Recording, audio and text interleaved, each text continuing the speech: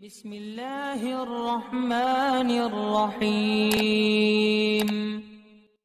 وعلیکم السلام ورحمۃ اللہ، سید شجاعت علی صاحب قطر سے پوچھتے ہیں، زمزم شریف کا پانی غیر مسلم کو دے سکتے ہیں؟ اپنی جانب سے پہل نہیں کرنی چاہیے، اگر وہ خود مانگتا ہے اور یہ پتہ ہو کہ لینے کے بعد ادب و احترام کے ساتھ پیے گا، بے ادبی کا معاملہ نہیں کرے گا، پھینکنا، ضائع کرنا